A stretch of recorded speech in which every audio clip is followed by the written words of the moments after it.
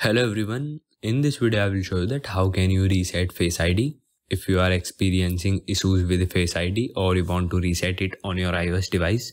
So you can follow these steps. Let's get started. First of all, open settings of your iPhone. Now scroll down and look for Face ID and passcode in the settings menu.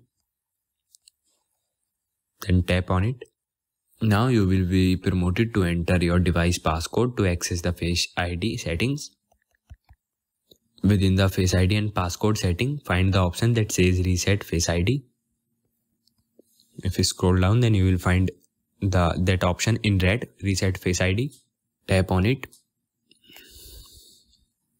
Now the Face ID is resetted and you have to set up the Face ID again so this is how you can reset the face id on your iphone. Thank you everyone